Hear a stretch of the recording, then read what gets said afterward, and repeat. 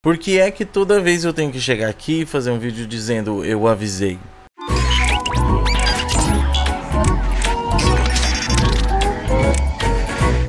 Durante a E3 de 2017, o jogo Anthem da EA, junto com a BioWare, foi apresentado ao público. Desde então, as pessoas vêm me perguntando o que eu acho sobre o jogo, se eu estava ansioso para jogar. De início, eu nem tinha visto o anúncio dele, eu não tinha, não tinha acompanhado direito aquela E3, não tinha visto, fui procurar, achei interessante e com o passar do tempo, com a demonstração de mais conteúdo, de gameplay do jogo, eu me empolguei bem mais com a ideia. Cara, a ideia de um jogo com a liberdade vertical que aquele jogo te dá, com aquelas armaduras maneiras pra caralho, totalmente customizáveis, com aquela pegada de RPG que tem Destiny, por exemplo, jogando em multiplayer com os amigos, enfim, é uma ideia muito legal e realmente me cativou depois que eu fiquei sabendo mais sobre o jogo. Porém, sempre que alguém vinha me perguntar se eu estava ansioso pelo jogo, o que eu dizia? Eu sempre disse que estava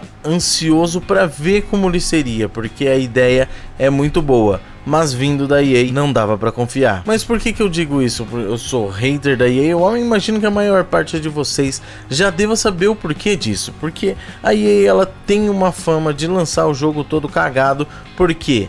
Porque eles têm uma política aparentemente interna deles lá que prioriza a monetização do jogo ao invés do conteúdo do próprio. E o meu medo era justamente Anthem ser assim. Por quê? Primeiro que estava vindo da EA mesmo. Segundo que é um multiplayer online. Se tem jogo que dá para atacar loot boxes e, e maneira de ganhar dinheiro, é multiplayer online. Mas aí chegou a EA com a notícia de que não haveriam loot boxes em Anthem, apenas para cosméticos. O que eu entendo, compreendo e aceito, mas ainda não gosto, porque eu gostava tanto da época que eu tinha que jogar, por exemplo, um jogo de Play 1 aí várias vezes para desbloquear uma roupa que eu queria, ou enfim, que eu podia fazer isso dentro do jogo, sabe? Saudades da época que eu falava mal de alguns MMORPG porque eles eram pay to win, porque vendiam item de cash e não tinha como pegar dentro do jogo. Esses eram os jogos que eu nem chegava perto. Hoje em dia, basicamente todos os jogos são assim. Triste, né? Mas enfim, no final das contas, o que passou a me preocupar mesmo não era mais a monetização de Anthem, já que a EA tinha anunciado que não teriam loot boxes, que seria basicamente só cosmético que eles iam vender, o jogo tava free to go, tá ligado? Era só ser bom, executar bem a ideia que a gente ia ter um ótimo jogo no mercado para jogar. Recentemente foi liberada uma demo para galera que fez a pré-venda do jogo, a pré-compra, né, na verdade. Ou seja, a galera que comprou o jogo antes dele ser lançado. Quem já comprou o jogo, quem tem assinatura na EA Access e na Origin Access teve acesso a essa demo VIP. Eu consegui jogar essa demo não porque eu comprei, mas porque o Kate, que é um dos padrinhos aqui do canal, vocês devem conhecer, me emprestou a conta da Origin dele cujo ele tinha acesso à demo VIP, pois um amigo dele havia comprado já o jogo na pré-venda. Cada pessoa dessas que comprou o jogo tinha um passe e um direito de mandar passe até três outros amigos, então seriam quatro keys por pessoa. Enfim, eu joguei o jogo, eu testei e cara, teve muita gente com problemas sérios nessa demo. Aí o, problema se apresentou aqui, mas pera aí, vamos voltar um pouquinho. Porque eu comecei a desacreditar em Anthem, eu acabei me antecipando aqui nos comentários. Porque eu continuei sendo cauteloso quanto às minhas opiniões, mesmo sabendo o lance da monetização estar um pouco mais tranquilo quanto a isso. Porque ainda é a EA, e hoje em dia, gente, venhamos e convenhamos, tá muito raro a gente ter um jogo bem otimizado hoje em dia.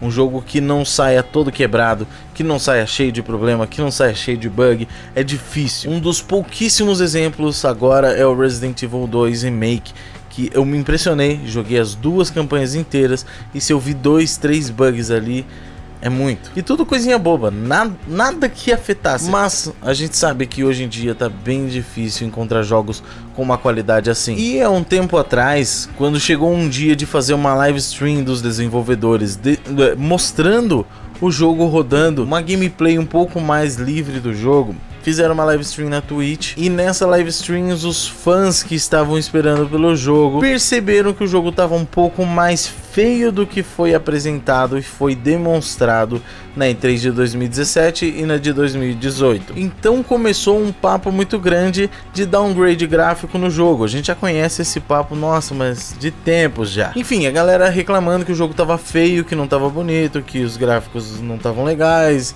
não estavam legais como foram mostrados na E3 e etc. Em defesa disso, um dos desenvolvedores tweetou dizendo que, na verdade, eles esqueceram de aumentar as configurações gráficas, o jogo estava rodando no low. Foi assim que ele justificou porque os gráficos estavam inferiores naquela live stream. Tudo isso me cheirou muito esquisito, gente. Os caras falarem que esqueceram de colocar no Ultra.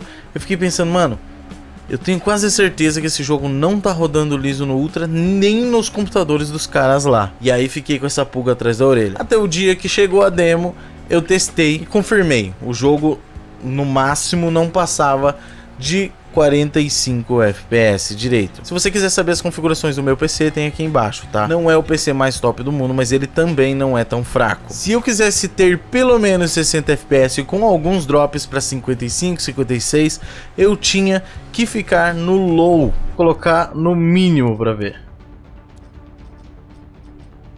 Alto, baixo. No baixo ficou 58, 50... Nem no, no, no mínimo o jogo fica liso, cara. Agora, no Ultra, velho, 45 FPS. No High, 45 FPS. E tentar deixar tudo no máximo. Quer dizer, tudo no alto. Não adianta, não mexe os frames, velho. Vamos fazer assim. Vou colocar aqui no Ultra. Deu uma diferença. Ah, vai tomar no cu. Deu uma diferença de 3 a 4 frames. O jogo ele tá bem mal otimizado, sim. Mas, deixando isso de lado, vamos falar um pouco sobre os problemas que outras pessoas tiveram. Eu não enfrentei tanto, mas assim, algumas pessoas não conseguiram nem conectar no jogo. Principalmente assim que a demo foi liberada, que é quando a galera tá em febre e indo todo mundo para os servidores conectar ao mesmo tempo. Tinha muita gente que passou horas tentando conectar. Quem foi? David Jones eu vi fazendo um vídeo falando que não conseguiu jogar na primeira tentativa. Ele abriu uma live stream para jogar e ninguém conseguiu jogar o jogo. Galera reclamando pra caralho de lag. Sabe quando dá um lag porque você anda assim e volta, aí anda e volta, você não consegue sair do lugar por causa de lag, de problema com conexão. Tava acontecendo muito isso. Comigo mesmo aconteceu na primeira tentativa de jogar, aconteceu um load infinito, um load demorado demorado mesmo, porque a barrinha ela vai enchendo rápido, de repente começa a diminuir velocidade, diminuir, diminuir, diminuir, chegou no 90%, ela parou e não subiu mais. Eu fiquei esperando, eu gravei, cara, tá tudo aí para vocês verem.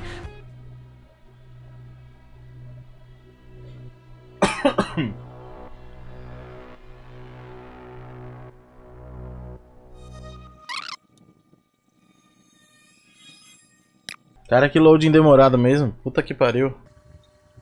Ele vai enchendo essa barrinha aí. Até uma hora. Quando chega perto do final, ele vai ficando cada vez mais lento. Agora tá rastejando ali. Jesus.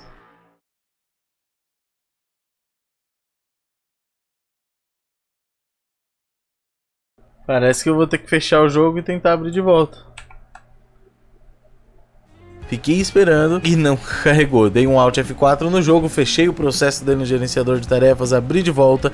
Aí o jogo continuou, digamos, na missão que eu tinha acabado de entrar. Outro bug que eu percebi era que eu matava os inimigos, a inteligência artificial deles desligava, eles ficavam parados ali, a barra de HP deles sumia e de repente eles sumiam, desapareciam, sabe? Tipo, a animação de morte completamente desligada. Os controles quando você tá voando, para mim soaram pareceram bem desconfortáveis, tá ligado? Talvez seja questão de costume, talvez seja uma pegada diferente só porque quando a Thaís foi jogar, ela não achou ruim de controlar. Eu achei, mas ela não. Eu também fiquei um tanto quanto perdido na demo, porque eu não sabia exatamente o que, que eu tinha que fazer, eu não sabia para onde ir, então fiquei por ali no mapa caçando inimigo para matar, caçando atividades e outros players para ver como que tava apenas. Quem progrediu um pouco, quem descobriu como progredir um pouco ali foi a Thaís. E é por isso que eu tô fazendo o vídeo assim e não estou postando a gameplay pra vocês, porque minha gameplay foi zero produtiva, gente, zero. O jogo também tem óbvias paredes invisíveis, onde ele te dá a desculpa que tem tempestades magnéticas e a sua armadura desvia automaticamente delas. Ou seja, você não pode ir muito para cima porque tem tempestade lá, você não pode sair muito pro lado do mapa porque você tem que ficar na área da missão. A, a liberdade que o jogo diz te dá, ela é limitada, sabe? Ela te dá isso aqui e se mexe livre aqui dentro. Se você sair já era. Mas o jogo é de todo ruim? Não. Cara, a gameplay em si, o visual dele, mesmo sendo mais feio do que foi apresentado de início, isso mesmo no Ultra ele tá mais feio do que foi apresentado. Sim, teve downgrade, mesmo que não seja absurdo, teve sim, dá pra ver a diferença. E eu não entendo por que mostrar o jogo de um jeito e entregar de outro, não, não consigo entender isso. Mas enfim, a gameplay é divertida, cara. Você tem variedade de inimigos, tem uma ambientação muito bonita, são gráficos bonitos ainda. Tem essa liberdade de você correr, voar, dar salto duplo, pegar uma arma, atirar e matar o bicho que você quiser, etc. Isso é uma ideia muito legal, mas como eu estou dizendo desde o início, o jogo tem uma proposta, uma ideia muito boa, só que obviamente não está sendo bem executado. Aí você pode falar para mim, mas calma, Everton, isso era só uma demo, o jogo ainda não lançou. Mas primeiro, é uma demo e não uma beta, tá? Quando é uma beta, a gente pode até usar esse argumento. Uma demo é uma demonstração do produto final, como o jogo já diz, demo, demonstração. É o produto final ali, é aquilo que a gente vai receber. E mesmo quando se trata de uma beta, a gente já tem histórico suficiente para entender que Cara, nada muda de uma beta pro jogo final. Não muda. Não muda. Principalmente aí com menos de 20 dias pro lançamento. Agora, qual que é o problema real disso? Mano, era uma demo VIP, era fechada e como eu disse, 4 keys para cada pessoa. Ou seja, a EA sabia exatamente o número de pessoas que poderia jogar, sabe? O número máximo de pessoas, o teto. Eles sabiam qual era o teto de público. Era fechado para quem tinha comprado o jogo, para quem tinha a EA Access, para quem tinha a Origin Access essas pessoas multiplica por 4. Aí você vai ter o número exato do teto de jogadores que podiam estar usando os servidores do jogo e que provavelmente iriam. E mesmo sabendo o número máximo exato, os servidores não aguentaram. Então imagina quando isso estiver agora, na próxima beta, próxima demo, né, que vai ser aberta ao público. Imagina quando o jogo lançar. Eu espero muito que eles consigam consertar isso antes do lançamento, porque, como eu disse, o jogo tem uma proposta muito boa, ele parece ser muito divertido, principalmente para jogar com os amigos, mas se ele continuar do jeito que tá, vai ficar injogável, o jogo vai morrer porque ninguém vai conseguir jogar direito. A galera vai abandonar e até eles arrumarem, morreu Anthem. Bom, gente, o que, que vocês acham sobre essa história toda? Vocês chegaram a testar essa demo? Chegaram a ver vídeo de gente se frustrando com essa demo? Me contem aí nos comentários, tá bom? Um beijo na bunda de todos vocês, até a próxima, valeu e tchau!